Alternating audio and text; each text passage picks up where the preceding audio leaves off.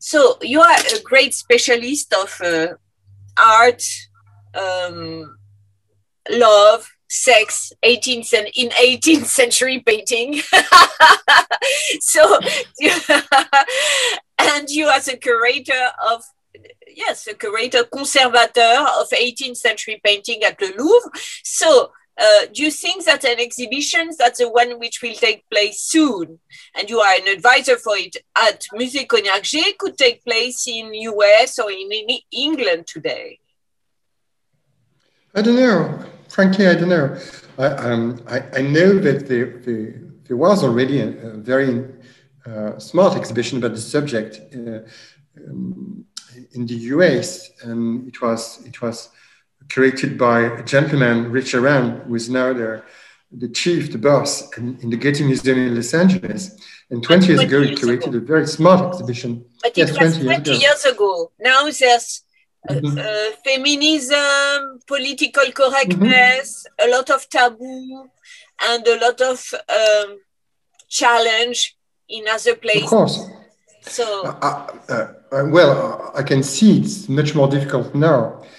But uh, um, I think there should be exhibition about the subject, and especially in US, um, and especially now because um, the, the, the the way to, to, to understand, to perceive uh, history and history of love and desire, history of relationship between genders is, is so much different. So I, I think it, it, it, should be the time now to redo an exhibition about the subject.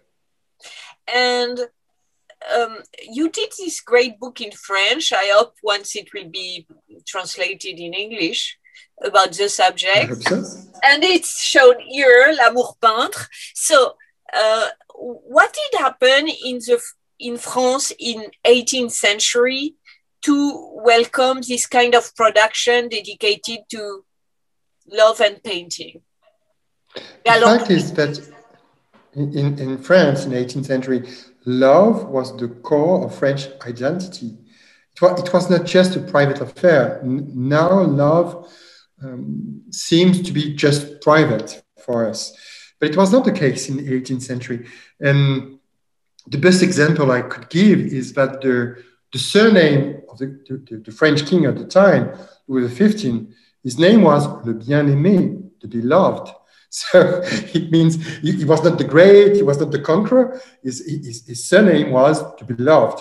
and it, it, it, was it was it was the the key issue at the time when France considered itself as the most refined nation in Europe and the, the most refined in, in, um, in sociability and in where the people interact.